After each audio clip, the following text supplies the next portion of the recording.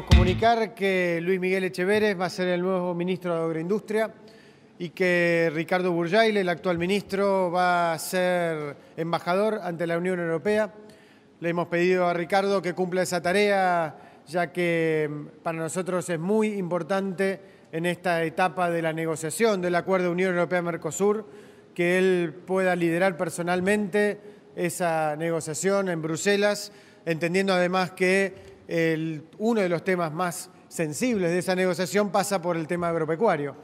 Ricardo ha sido un excelente ministro de agroindustria en estos dos años, una etapa muy importante además para todo lo que es el campo y sus derivados en la Argentina, ya que se puso en marcha el crecimiento, el desarrollo y en gran parte gracias a la muy buena tarea que él ha desempeñado como ministro. Eh, el presidente le ha pedido a Luis Miguel Echevere eh, que sea el que encabece esta segunda etapa de trabajo de simplificación y promoción del desarrollo de todo el sector agroindustrial en la Argentina y mm, también estamos muy contentos de su incorporación.